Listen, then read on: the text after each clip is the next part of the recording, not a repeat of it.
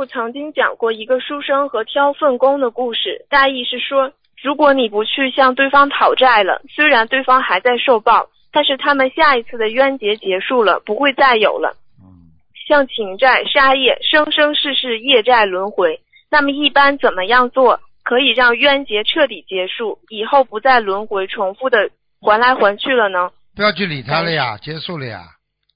结束了，嗯，你比方说，上次我不是讲人挑粪的故故事吗？对不对啊？你如果一出拳，那个秀才那个挑粪的人就死了，对，是的，那么就冤冤相报何时了？因为上辈子这个书生是死在他的手上，这辈子他嗯必定要死在书生的手上，所以他书生没有出拳，没有动手，那么这个人嗯死了，自己回去也会发烧死的。那么跟书生这辈子没关系了，不就彻底结束了吗？两个人的冤结。就是忍辱是吗，师傅？对呀、忍辱就是消业呀，不是消债吗？孽债嘛就靠忍辱了呀。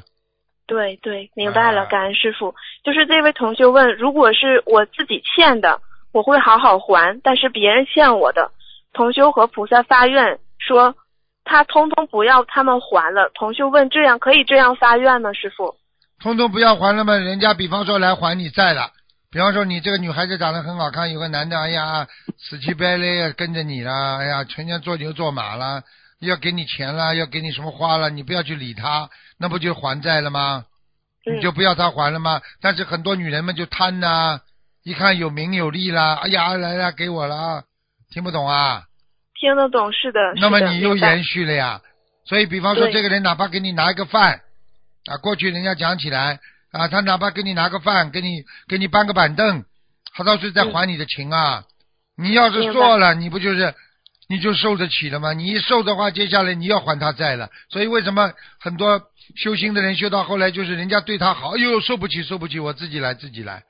你哦，就是这样的，所以人家不敢的。你举个简单例子，你一个局长说来来，我给你科长给你来敬酒，我给你，接下来你你就欠他了，他叫你做什么事情，你就不敢不做了，明白了，听得懂吗？吓人了，听得懂。非常吓人。你举个简单例子，人家你在酒吧里，一个男孩子跑过来，小姐，我请你喝杯酒好吗？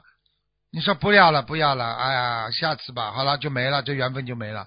如果你说明白了你喝人家杯酒，结果接下来他就开始讲更多的话了 啊，再来我们出去聊聊吧，啊，我我给你留个手机吧，然后我们可以啊，现在啊弄个二维码吧。你逃不出二维码，你逃不逃不掉了你，明白了，明白了，知道嗯了。感恩师傅，太吓人了。吓人了吧？所以不要轻易接受人家的馈赠啊，什么东西啊都不肯的，都不行的。所以法师为什么说，哎呀，我一两手清风，我什么都不要的，送什么？没什么好送的嗯，啊。明白了一送你就欠人家情了。我问你，人家给你东西，你是不是欠人家情了啦？是的，拿人家的手短呐、吃人家的嘴软呐、这还不懂啊？